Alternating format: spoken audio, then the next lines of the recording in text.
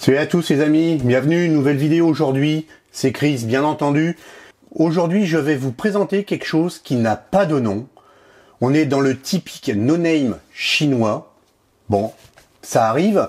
C'est quelque chose que j'ai eu grâce à la boutique Gearbest dans les Lucky Bags pour le troisième anniversaire. Je ne savais pas ce que je commandais. Et j'ai eu ceci. Alors ceci, dedans, il y avait ça. Je pense que vous la voyez correctement. Une caméra Action Cam, euh, une caméra sport, une caméra qui va sous l'eau, une caméra qui va vous permettre de filmer toutes vos actions journalières si vous êtes un super sportif, ou même peut-être si vous n'êtes pas un sportif. Bref, en tout cas, moi, je l'ai bien utilisé et je vous propose d'aborder cette petite caméra copie GoPro tout de suite après le générique.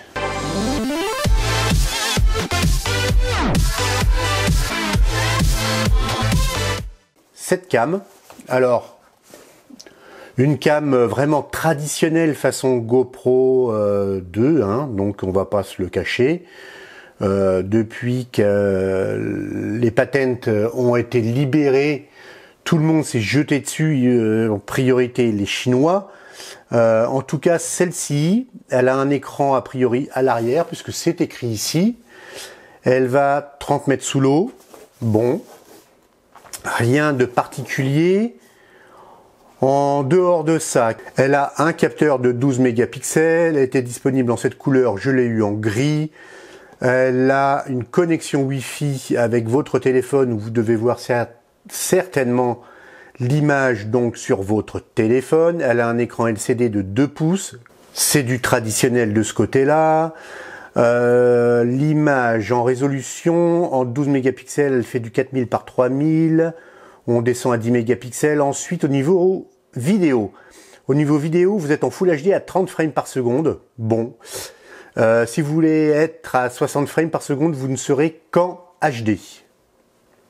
C'est un choix à faire, un zoom x4, un lentille avec un angle de vision de 170 degrés, lecteur de carte micro SD jusqu'à 32 Go. Euh, l'interface est en anglais, français, espagnol, allemand, bon bref. USB 2.0 HDMI. La batterie, elle dure 80 minutes en Full HD. La batterie fait 900 mAh. Voilà, et la caméra fait 44 grammes.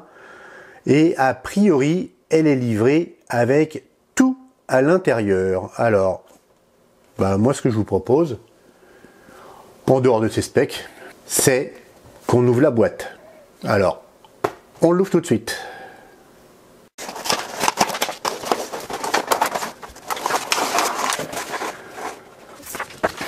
Voilà, boîte ouverte, une petite caméra, 10 000 accessoires, 10 000, bien sûr, j'exagère, mais une bonne euh, fourniture d'accessoires, utile ou pas, on va regarder ça tout de suite. Alors, pour commencer, la caméra. Caméra équipée directement avec une coque permettant la submersion de cette caméra. On va donc ouvrir cette coque protégeant la petite caméra. On va la sortir et regarder un peu son niveau de finition. Donc euh, j'ai essayé de la trouver sur le site Gearbest, je ne l'ai pas trouvé, bon c'est pas bien grave, euh, sachant que par exemple Ulefone va sortir euh, sa petite nouvelle 4K qui est une refonte en fait de leur précédente, j'ai oublié le nom, mais en gros voilà elle est améliorée, un look plus sympathique avec une imitation cuir en façade. Bon, voilà, ce n'est rien d'extraordinaire. C'est du classique. Par contre, effectivement, vous avez quand même l'écran à l'arrière. Une protection d'écran qu'on va retirer tout de suite. C'est plutôt propre. Alors par contre, vous voyez qu'il n'y a aucun cache pour la connectique, y compris pour la carte SD. Bon, c'est un peu dommage vous devez avoir la batterie par ici, si ça veut bien s'ouvrir. Voilà.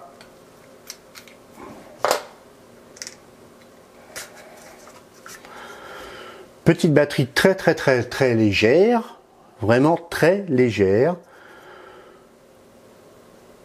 Je pense qu'on est clairement en présence euh, de ce qu'on appelle les caméras no name. Hein. C'est euh, comme les téléphones parfois.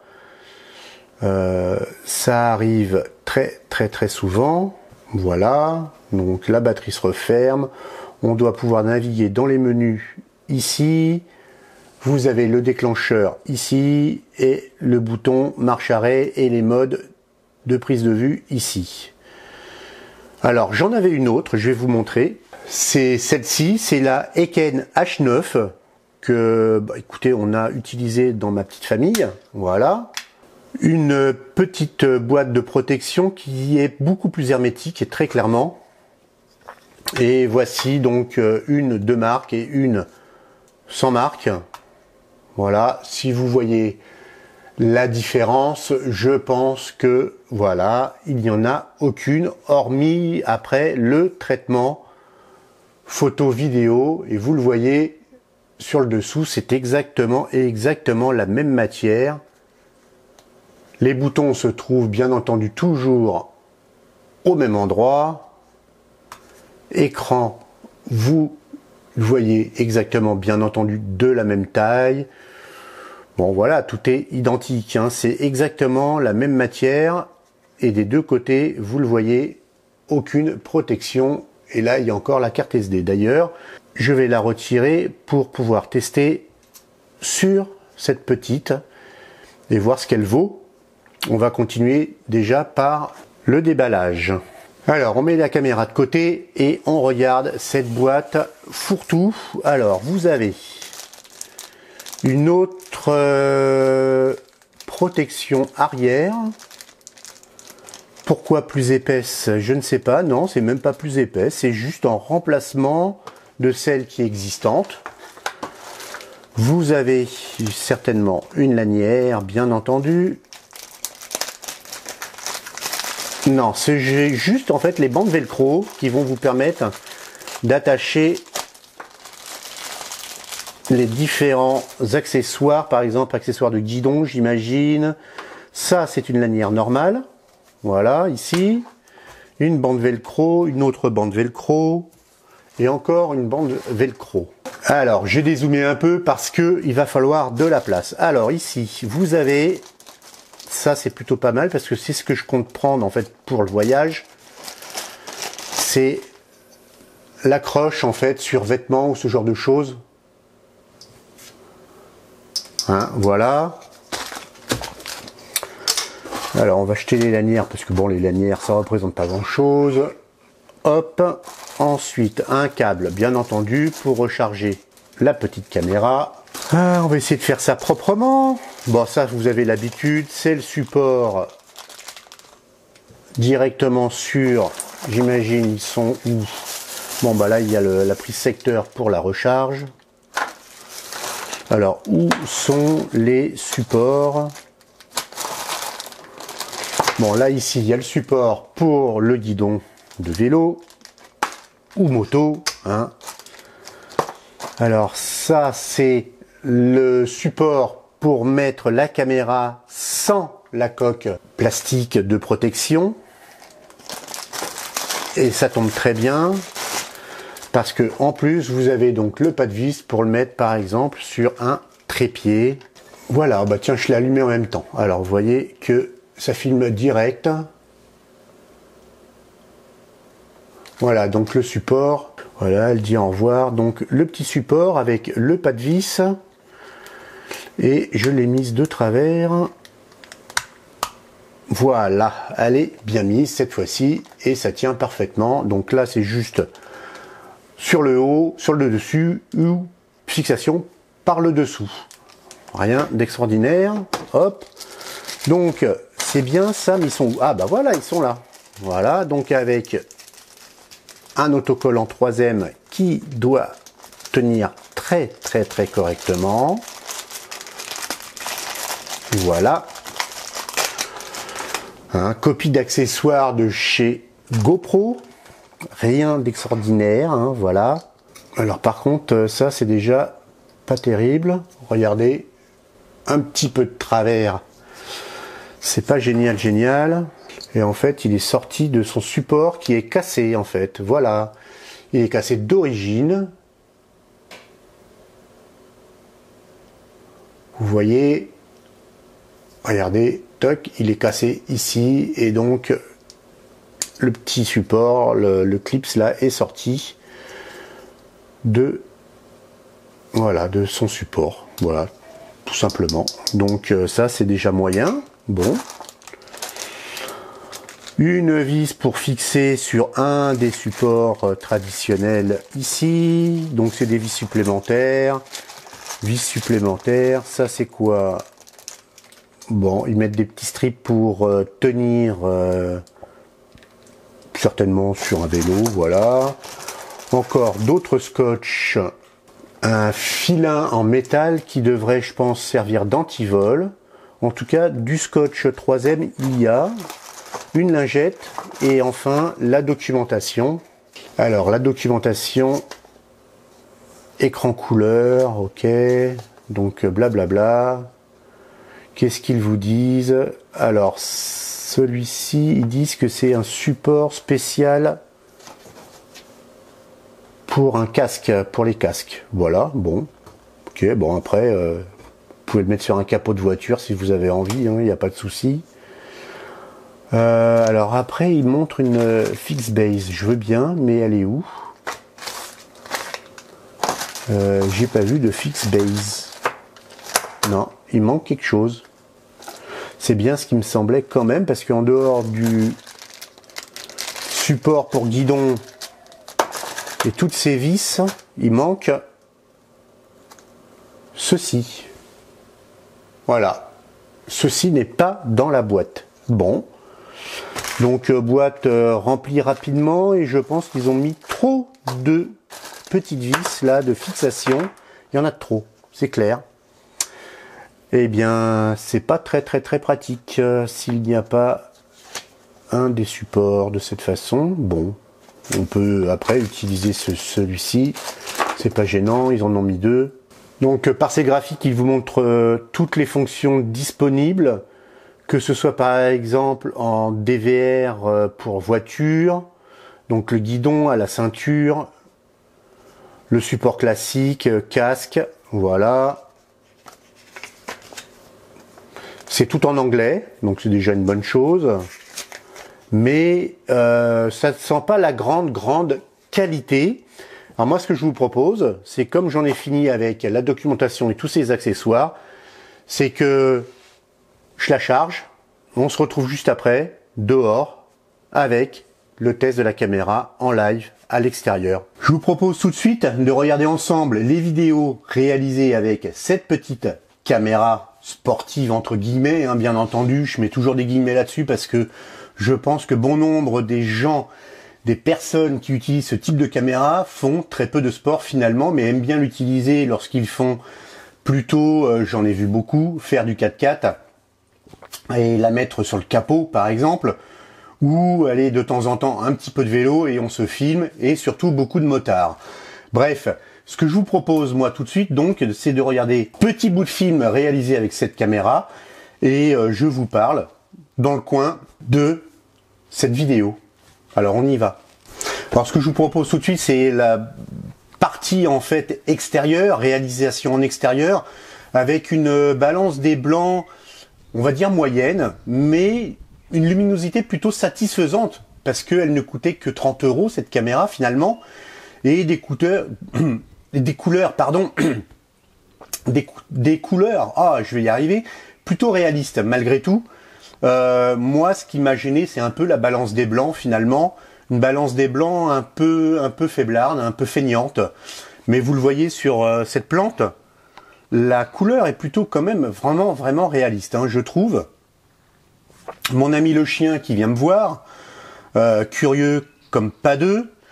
bref, vous voyez quand même que les couleurs sont bien présentes. Là, je me suis essayé un peu à la macro pour voir comment réagissait en fait cet objectif. Bon, on va pas faire de macro dessus, mais on peut s'approcher très sérieusement des plantes et filmer quand même des, vrais gros plans. Et avec ce grand angle de 170 degrés, bah ça donne quelque chose de plutôt pas mal. Et là, je me suis mis en time-lapse. Vous le voyez au lampion jaune qui bouge. C'était un time-lapse, time-lapse, je vais y arriver, toutes les deux secondes. Donc, euh, bon, rien d'extraordinaire, mais ça permet, par exemple, de faire de la vidéosurveillance, finalement, et voir ce qui se passe dans votre jardin ou euh, sous votre Porsche, je ne sais quoi.